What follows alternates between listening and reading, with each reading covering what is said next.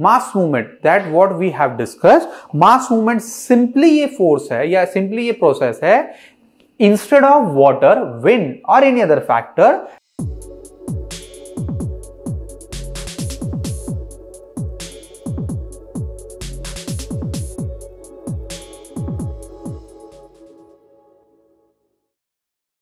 So this test discussion is for NCRT है ना?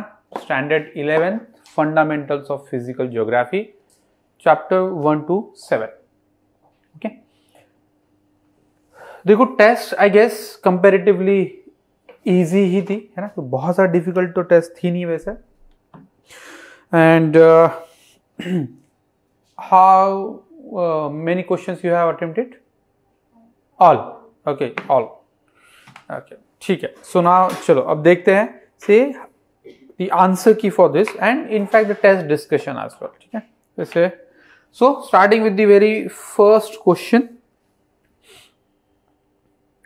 one of the earlier and popular arguments for the origin of the earth was by German philosopher Immanuel Kant. Okay, see it all deals with the very basics of your understanding because okay.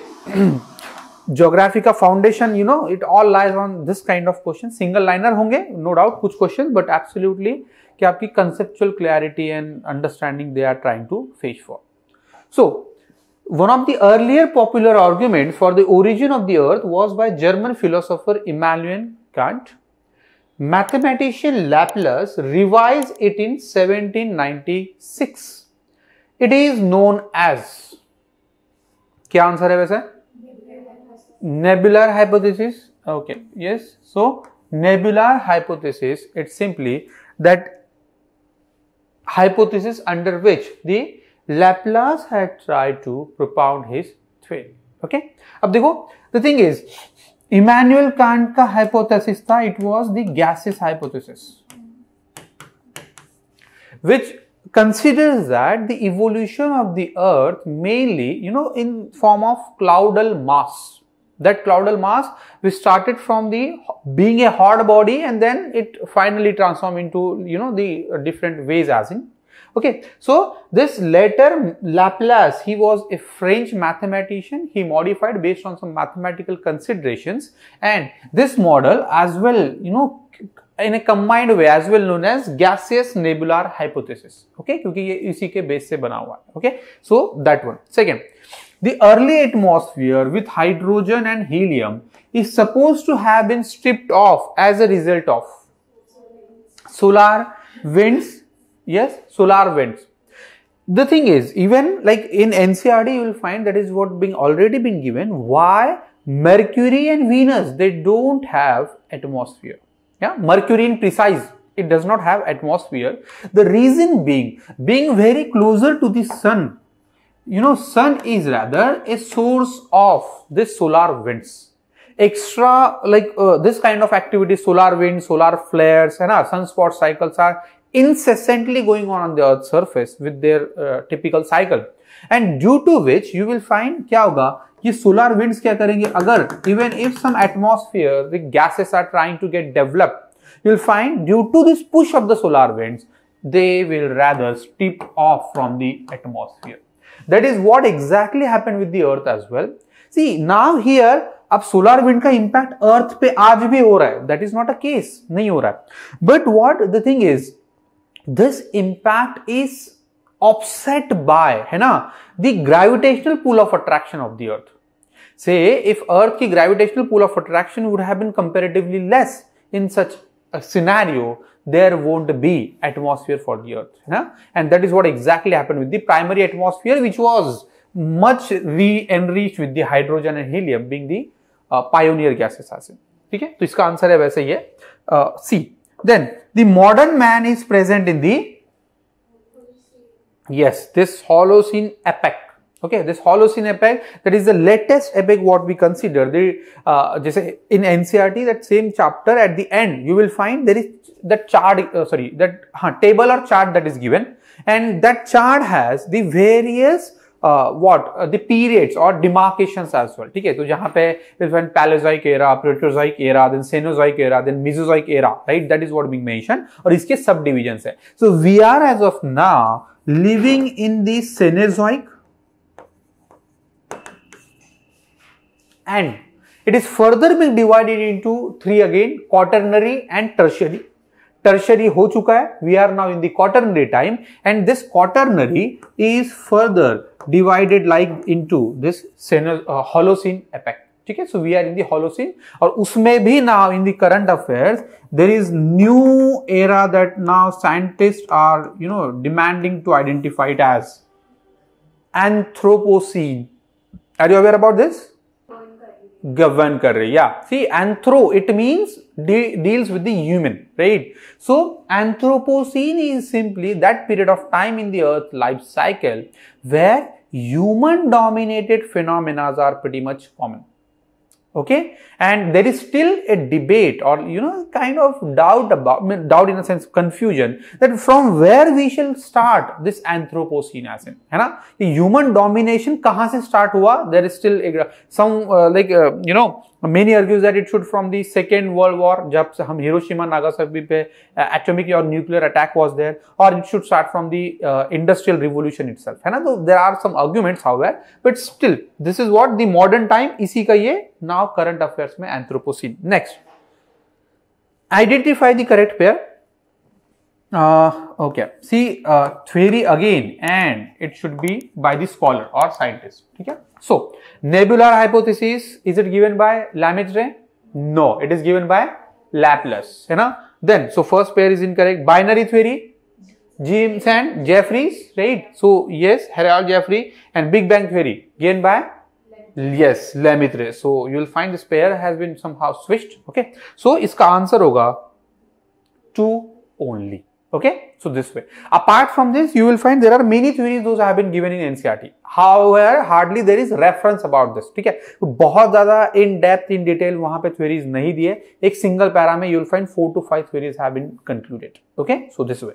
Next, dash. Okay, here dash is a place where gases, ashes or molten rock material, lava escape to the ground. That is simply absolutely easy question है ना मतलब I just tried के question easy हो but they again should try to fetch your understanding ठीक है तो volcano is what that case अब we are much aware about the difference between magma and lava yes magma and lava so magma is something or that molten rock material that lies below the earth surface and lava that when it erupts on the surface है so that defines this magma and lava this one earthquake to वैसे भी the vibrations in the earth crustal part and this fumaroles are rather lying in the vicinity of volcanoes ठीक है however these are uh, you know the release point of different gases not magma or lava as in rather the release point of different gases as and sometimes this fumaroles equally marks the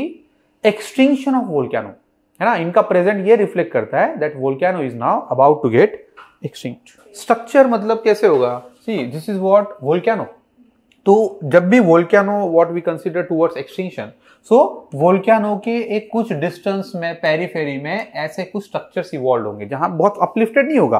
rather यहाँ से ये vent होगी जहाँ से gas release होगा। ठीक है? Gases जैसे sulphur dioxide and few other gases so ये इसके पेरीफेरी में होगा तो जो मैग्मा यहाँ से आएगा, अब गैसेस ये यहाँ से रिलीज़ होंगे in its periphery that is what the fumarole. The last sign of uh, are simply signs of extinction of volcano.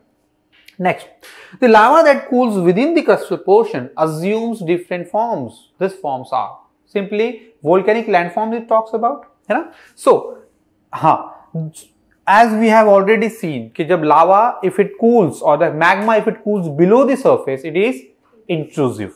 And if it above the surface, that is extrusive form simple सा case है। बाकी फिर हमने intrusive और extrusive के form भी discuss किए है ना? जैसे यस इंट्रूसिव के फॉर्म से डाइक्स है सिल है बैथोलिथ्स है लैकोलिथ्स है फैकोलिथ्स है है ना? और एक्सट्रूसिव हाँ रॉक तो ये तो रॉक का टाइप हो गया। कैल्डेराज है, लावा प्लेट्यूज है देन डायट्रीम्स है, ठीक है? तो ये कुछ है जो यहाँ के फॉर्म्स है, ठीक है?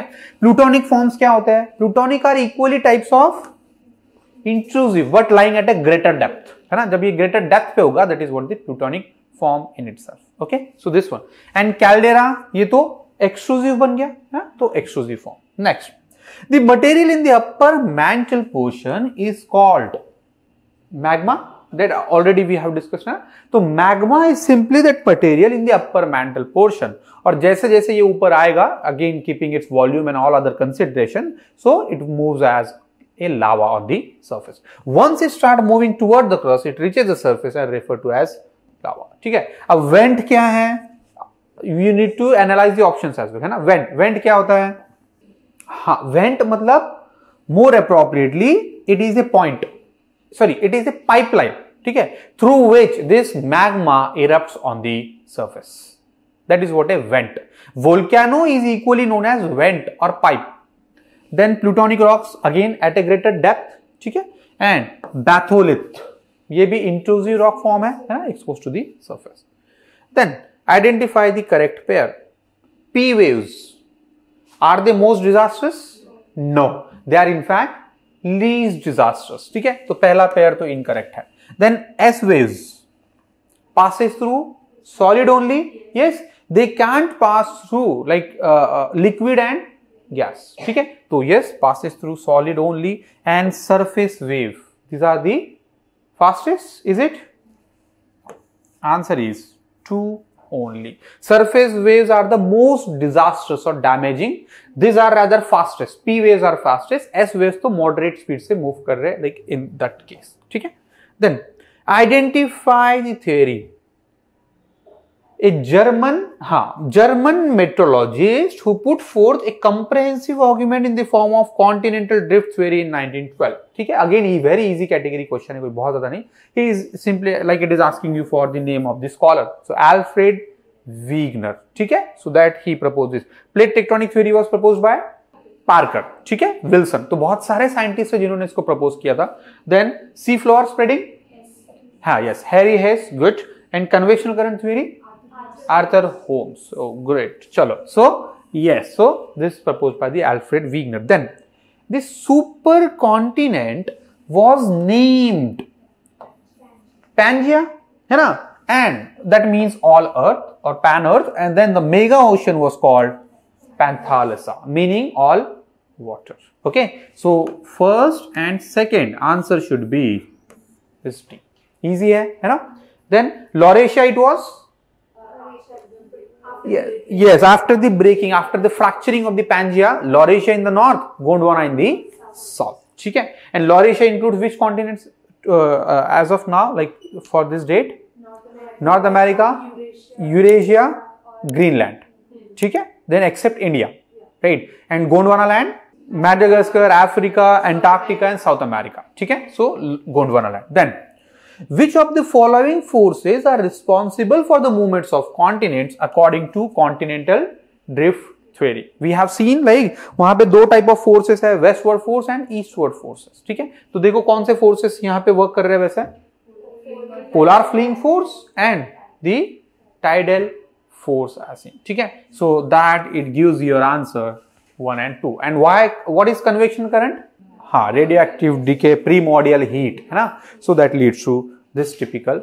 formation okay so yes good then it was in the 1967 अब जैसे ऑलरेडी डिस्कस किया था हमने McKenzie and Parker and also Morgan independently collected the available ideas and came out with another theory as plate tectonic theory. Okay? Plate tectonic theory, simply this a.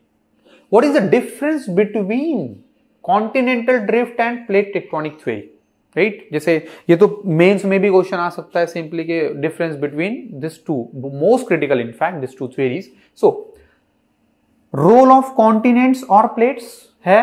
कैसे?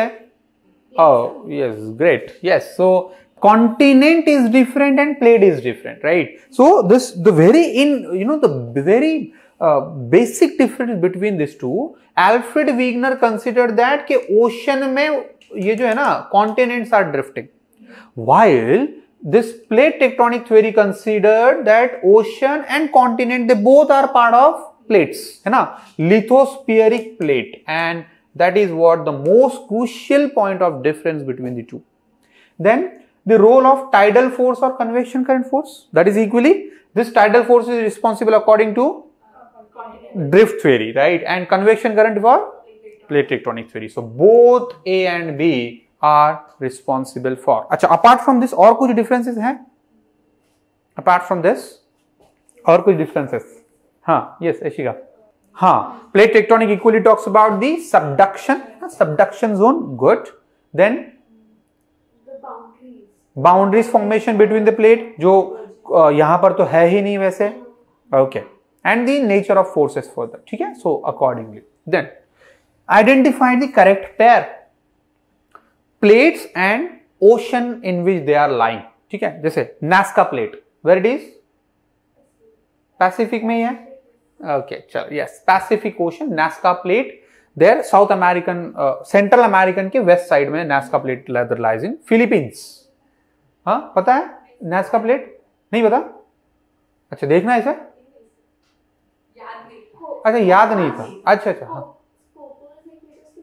हाँ हाँ हाँ yes yes वहाँ पे, ठीक है?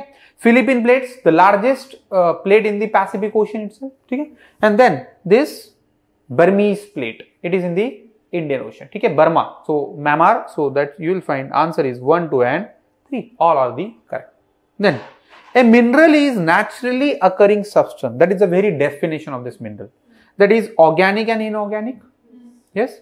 An orderly atomic structure it has and a definite chemical property. It can be man-made or natural. Natural. Natural only. Yes. So mineral at least as of now cannot be a man-made जो NCRT हमें बता रहा है typically ठीक है so it is uh, so हाँ it is it sure a natural entity ठीक है और formation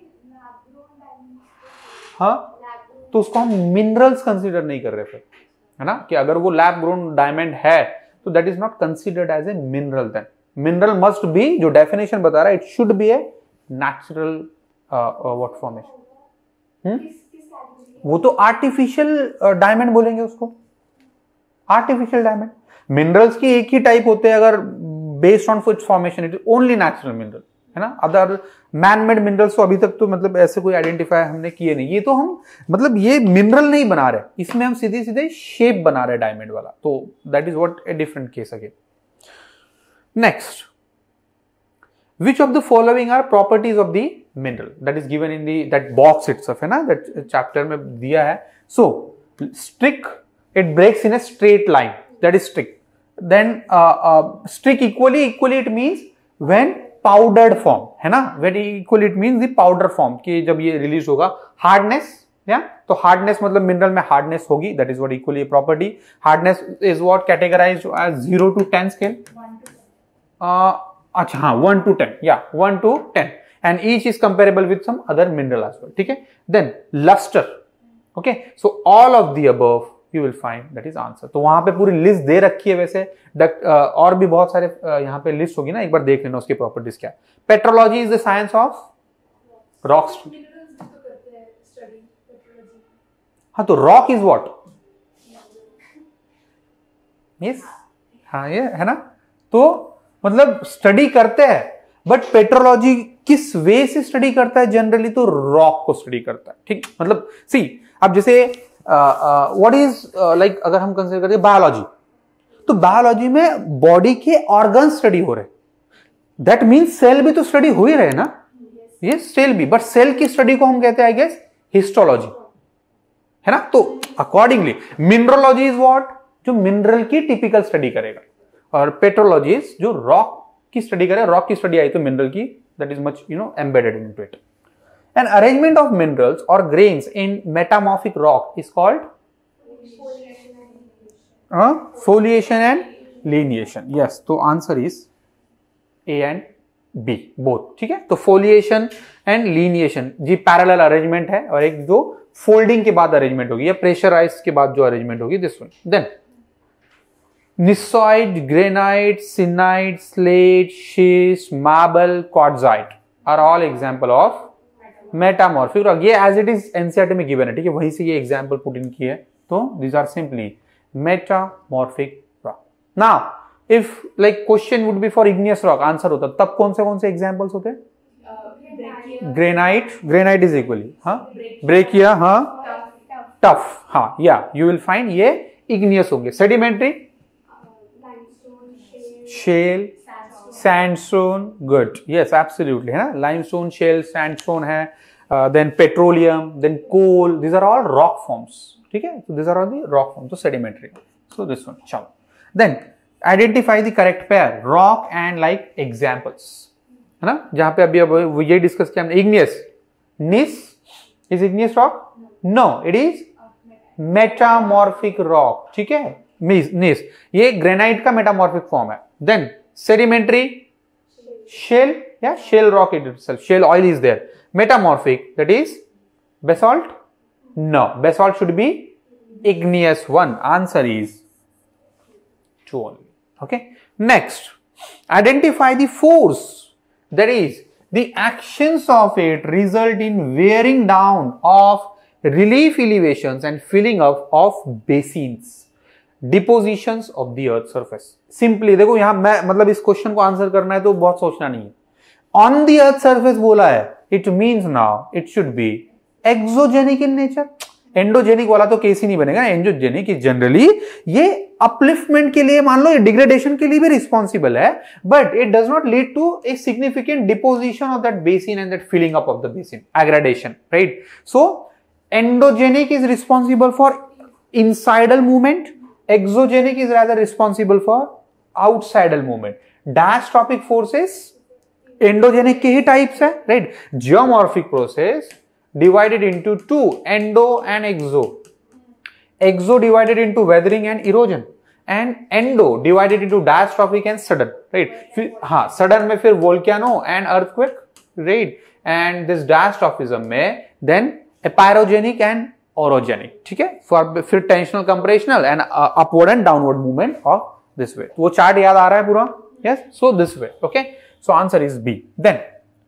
next the endogenic and exogenic forces causing physical stresses and chemical actions on the earth materials and bringing about changes in the configuration of the surface are yes Geomorphic process right देखो है कुछ नहीं मतलब सिर्फ़ ये question इसीलिए add किया है ना, कि you guys should have you know the understanding about the definition of geomorphic process है ना? Every question has some logic behind it reasoning behind it to have that ठीक है? सो यहाँ पे सिर्फ़ इसका रीजनिंग मोर इंपॉर्टेंट था कि आपको जियोमॉर्फिक प्रोसेस जो ब्रॉड टर्म है ना that the six chapter is I guess that is what with the geomorphic processes so you should have that clarity with it ठीक है? Then the energy emanating from within the earth is the main force behind this endogenic geomorphic process. This energy is mostly generated by radioactivity, rotational force of the earth and tidal friction. So, answer should be all of the above. Huh. No doubt the radioactivity is one of the most dominant now, right? No doubt it is one of the most dominant, but these three are equally contributing for this case. Next, denudation. याद आ रहा है वो, है ना? Yes तीन जो different उसके फर्दर ब्रांचिंग्स थे weathering erosion and mass wasting ठीक है? So it is weathering is form of endogenic और exogenic exogenic right erosion is exogenic mass wasting is exogenic तो all the exogenic geomorphic processes are covered under this general term, right? That is, denudation, answer should be a only. Next, this movements transfer the mass of rock debris down the slope. However, under the direct influence of gravity, it also contributes for weathering, which is that movement. Yes, mass movement that what we have discussed mass movement simply a force है या simply a process है instead of water, wind or any other factor, gravity is rather playing a strong role for it, right? So this mass movement is this way. अब land side में क्या होगा land side में other factors are equally contributing for है ना other factors are so this way exogenic तो weathering erosion वाला आ ही गया diastrophic movements as well then which of the following are agents of erosion you'll find groundwater is it agent of erosion sea idle water no why ha see for any phenomena to qualify for being an erosional agent it needs two things एक चाहिए speed and एक चाहिए volume है ना? Speed है और volume नहीं है that is that doesn't make a sense for erosional agent and equally volume है बट स्पीड ही नहीं है। तो क्या मतलब that is not responsible for erosion ideal water idle water sorry it is lose sorry it is losing on the count of speed ठीक है apart from this और कौन से कौन से हैं? Glaciers winds and yes yes waves and current चलो good तो answer should be C one and two then the gentler the river channel in gradient or slope, the greater is the deposition है ना obvious सा case है जितना slow channel की depth होगी या ग्रेडियंट होगा the tendency to get deposit the eroded material is higher and that is the reason it is leading to this fact next in the case of early stages of rivers down cutting now down cutting it means what Vertical erosion है ना? Vertical erosion that usually leads to the V shaped valleys है ना? और that vertically eroded land forms dominate during which forms irregularity such as yes waterfalls and cascades okay this are all this forms of vertical kind of erosion waterfall में सोचो ना, वही surface Erode हुआ है, तभी तो वॉटरफॉल बना है ना? कैस्केट्स इज़ है comparatively smaller form of this waterfall it's ठीक है? Then consider the following statement. Uh, it's about the ages, uh, stages of reverse erosion. In the middle stage, stream cuts their beds slower. You know, middle stage of life or mature stage of life cuts slower and lateral erosion of valley sides became severe. Lateral erosion it means the horizontal erosion. Vertical erosion here down cutting vertical way is a lateral in horizontal way. So in the middle stage that is much common. Then the crescent shaped dunes called the barkans with points or wings. You know, you will find in the desert led by wind as erosional factors. These are rather the result of depositional case. है ना इसमें क्या होगा इसके दो wings बनेंगे this one ठीक है तो डिपोजिशन होता जाएगा and accordingly this barchan are what getting develop ठीक है देन आंसर इसका है C then The large and deep holes at the base of waterfalls are called as plunge pools. Yes, plunge pools. है ना? So plunge pools are formed usually, you know, in the course of waterfall itself. waterfall पे जब excessive burden आएगा मतलब water का it leads to the plunge pool वाला formation. Okay, so that is again erosional landform in itself. Potholes क्या होते हैं? Circular या एडी करंट से फॉर्मेशन होने वाले इन द रिवर कोर्स ठीक है moraines glaciers good and oxbow lake हाँ मियांड्रिंग जब कट हो जाएगा ना this when this loop get disconnected from its main channel yeah during the course of flooding or after the course of flooding it is to be known as oxbow lake ठीक है next the movement could be a few centimeters to few meters a day or even less or more ठीक है clues है यहां पे given glaciers move basically because of the force of gravity by the moon and sun. Is it? No. No. Yeah. They are rather flowing under their own mass and the gradient of slope. ठीक है So इसका answer होगा only one. So glaciers are one of the slowest moving erosional agent, but their potential to erosion is equally high. क्यों? Mass or volume is high. ठीक है So that makes the case. चलो good. Then ये थोड़ा fact था The highest peak in the Alps is Matterhorn ठीक है? Matterhorn it was in the current affairs as well 2020 22 के बाद। यहाँ पे क्योंकि यहाँ पे कुछ करंट अफेयर्स चीज़ें चल रही थी। Then identify the correct pair stalactites are the result of ground water no C अब यहाँ पे कंफ्यूजन क्या हुआ? Question is asking you for erosional agent not erosional landforms समझ रहे हो? डिफरेंस है ना? Erosional agent is all what we have listed erosional landform is this one question क्या बोल रहा है? सिर्फ़ यहाँ पे लैंडफॉर्म लिखा है। यहाँ इरोजनल या डिपोजिशन नहीं लिखा है। सो दैट्स फाइन विथ तो I I know you got confuse with this के यहाँ पे इरोजनल लैंडफॉर्म्स होगा तो वहाँ पे मिस होगा बट ऐसे नहीं है ठीक है? तो stalactite that is again stalactite stalagmite cave pillar lapies this are the ground water let formation then loess win loess plateau as well that is the famous in China ठीक है so loess plateau and uvalas these are these are yes these are the ground water let formation और karst topography formation